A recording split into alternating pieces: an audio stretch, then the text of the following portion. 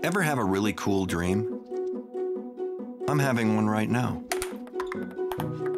I don't want to be disturbed. And I won't.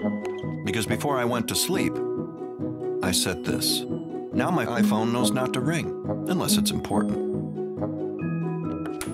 Because disturbing this would just be wrong.